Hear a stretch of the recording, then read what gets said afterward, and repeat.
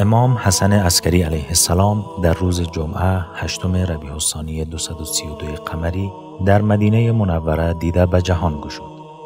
پدر بزرگوارشان امام هادی علیه السلام است و از مادر مکرمه ایشان با نامهای هدیس، حدیثه، سوسن و سلیل یاد شده است.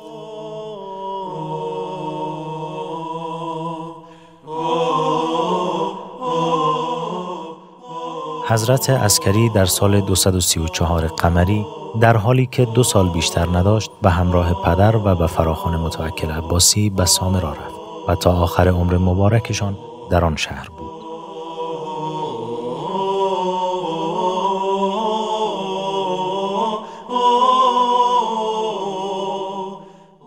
امام عسکری پس از شهادت پدر بزرگوار خود شش سال امامت کرد. از سال 254 تا 260 قمری. این مدت مصادف است با خلافت سه تن از خلفای عباسی، معتز، محتدی و معتمد که هر یک در ستمگری و دشمنی با اهل بیت پیامبر اکرم بر دیگری پیشی می گرفت.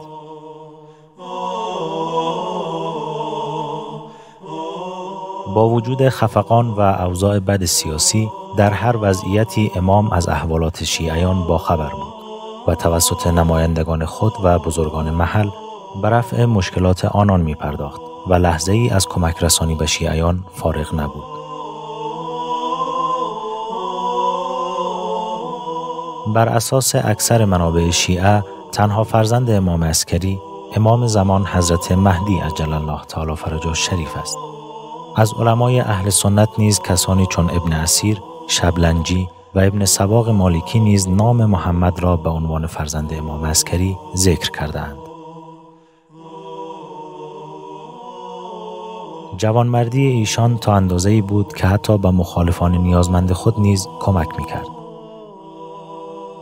آری، در تاریخ با وفور از بخشش و سخاوت امام عسکری علیه السلام نقل شده است. همیشه در عطا و بخشش چند برابر خواسته نیازمندان به آنان عطا می کرد.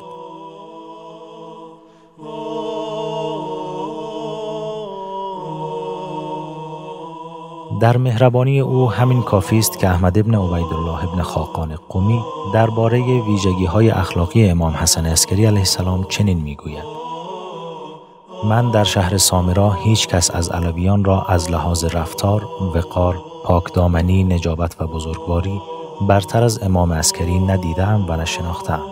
او محترمتر و عزیزتر از همه بود. یادمان باشد که این سخنان را کسی درباره شخصیت امام یازدهم گفته است که نماینده خلیفه عصر متصدی خراج شهر قم و یکی از دشمنان سرسخت و آزاردهندگان اهل بیت علیهم السلام بود.